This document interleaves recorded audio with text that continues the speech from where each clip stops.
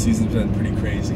dude. It's the logistics. Yeah, I mean, like right now, us coming back, so we were just on production for a couple of weeks. I mean, honestly, like four weeks in a row yeah, leading up to our trip back to Wisconsin. From like, it really kicked off at Out West Sled Fest. yeah. We were nonstop from Out West Sled Fest. I mean, one day turnaround between each trip, like just enough time to be able to get our sleds back and, and, uh, full running condition, get a little maintenance done, and yeah, hit the road. It's been super busy, but super fun. So many cool people that we've met this season, and uh, we put on more time on the snow than ever.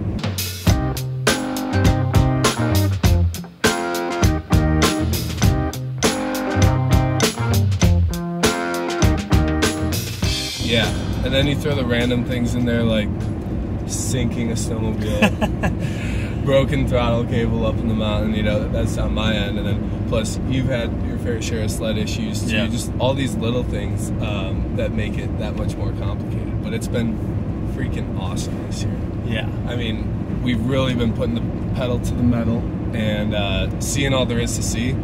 It's been really cool, and thank you guys for watching. Like we've been doing our best to put out a video every single week um, throughout this season.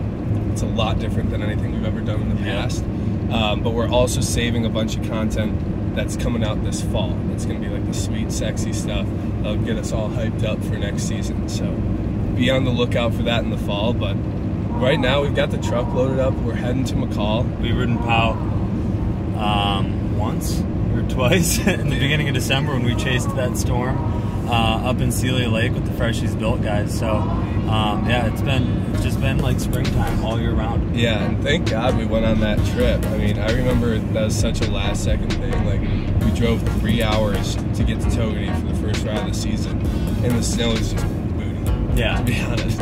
And on the way back, our buddy Bo suggested that we just load up and go to Seeley that week.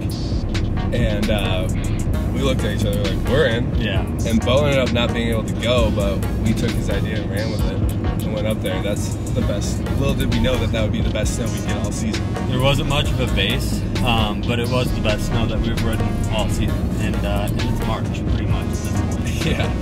Uh, it just goes to show you take advantage of the snow when you get the opportunity to. Um, stoked on that. But you guys, if you haven't already, check out all of our streaming channels. Download the Boondock Nation app.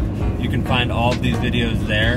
Um, and also our Vizio channel. That's something that's new to us. So standard on all Vizio TVs is the Boondock Nation app, and it's preloaded on there.